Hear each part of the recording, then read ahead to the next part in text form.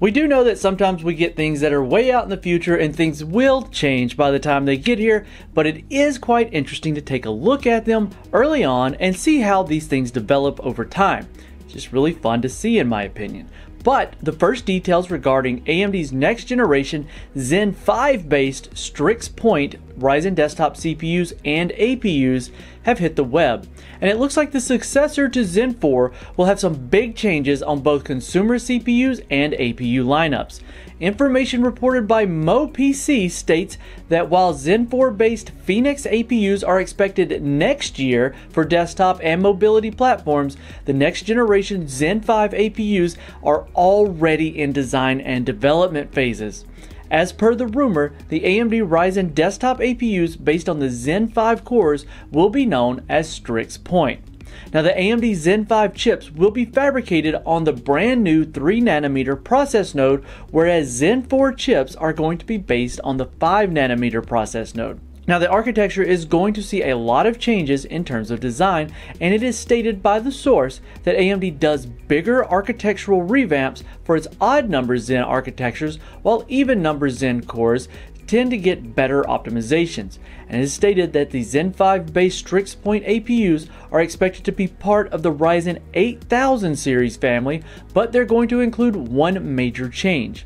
And that change is the inclusion of hybrid architecture design. Just like Alder Lake CPUs launching later this year, Zen 5 architecture is said to be the first to feature a big little-esque design.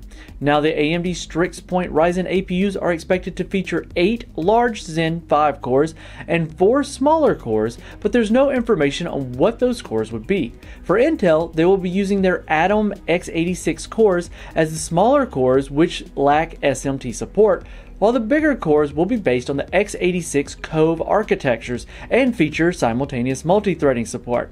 Now, the first AMD Strix Point APUs are rumored to debut in 2024, but we could see a release in a desktop lineup launching earlier as mainstream CPUs get launched months ahead of the APU launches.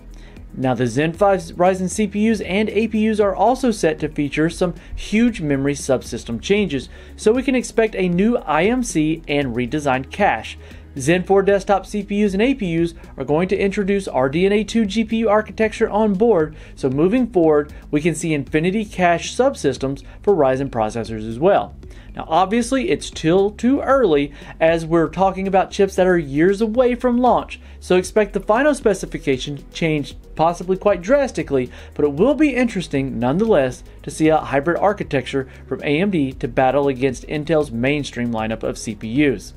And I want to thank you for making it to the end of this video. If you like what you've seen here and you like getting news daily, make sure you hit that subscribe button down there in the corner. And if you've missed out on news in the past and you want to catch those, check out one of these videos over here.